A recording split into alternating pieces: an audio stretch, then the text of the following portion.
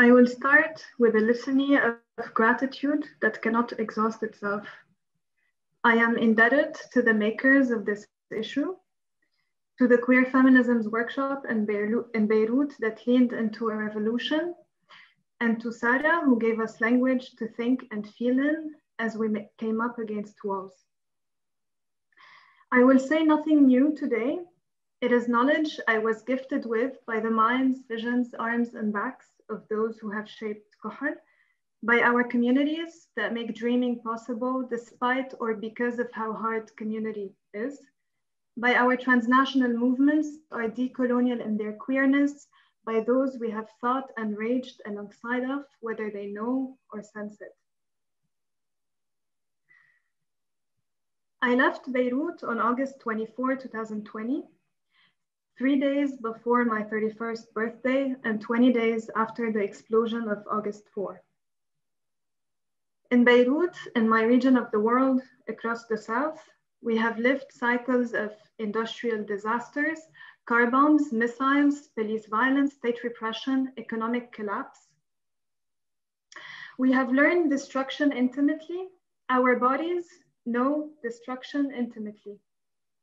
Yet, it was because of August 4 that I was authorized to cross the European border.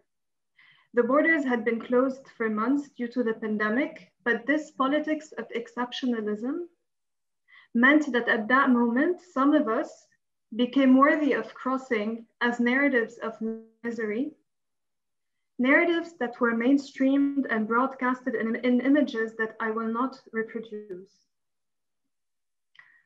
Kohl's backbone threads with memory and resistance. We refuse to entertain narratives of misery. Instead, we turn to our queer feminist archive, hence my question today. When do we become worthy of theory?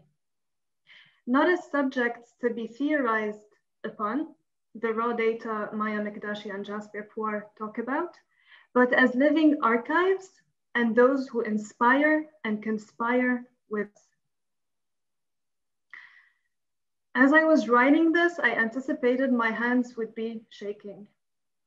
Queer theory is about finding what makes you shake, what can make worlds shake.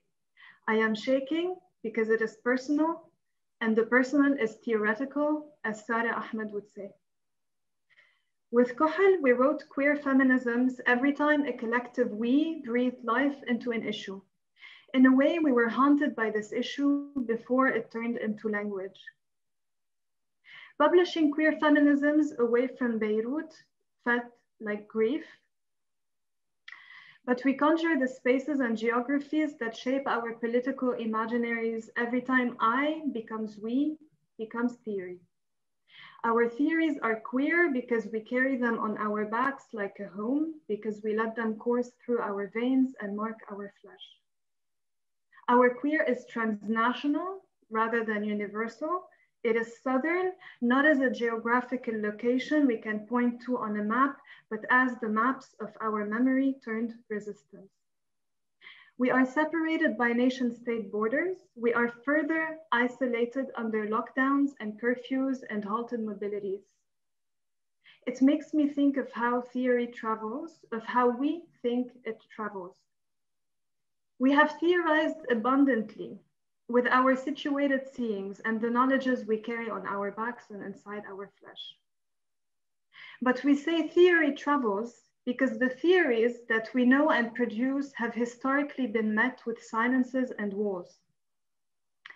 Theories are our practice, but theory, in singular, as meta-narrative, is that which has the power to write us out, even as we exist under its scope. Academia is one location. There are also institutions, our nation states, the media, and the policies that get translated into border controls, global aid, state violence, social norms. Theory becomes a point of origin that is never ours to claim. Regulated by publication standards, we are not equipped to navigate. By languages and codes, our tongues can speak but not master by paywalls and degrees and bureaucratic processes and emotional labor that wear us down. So we write ourselves back into our narratives, even as they are written by others. We tone down and edit out and conform in form and forms and structure. I and we forget that we were not civilized by global systems of power, by our nation states, by institutions. We were disciplined. I and we forget that these systems, global and national, were put in place as projects of extraction. And so as a queer phenomenology of theory, when we turn towards a point of origin, we have to look to our backs to point to histories of extraction. But when we came together for the Queer Feminisms workshop in Beirut, we did not speak back to, we spoke with each other and we allowed ourselves to shake. This is how we have always theorized. I have told this story many times. Rahel has been doing this work for seven years. When Queer Feminisms came out last December, I felt frustrated. It did not seem to stick. It is a question of reach. When we announced this launch, we were overwhelmed with online reach that was too widespread for us to contain, so we let it spill. And I anxiously asked myself, by reaching out to Sara, was I and were we reproducing a hierarchy of theories? Are the political economies of circulation really outside of our reach? But perhaps that is not the story. That is not the reach we need to talk about. To know intimately with our bodies, we get messy with the systems that regulate our lives, our mobility, our togetherness. Perhaps queer feminisms, the issue, is the center of this narrative because we have woven willfully enough to reach each other across the borders and positions we were assigned. We need not seize the means of production because we have always produced and theorized.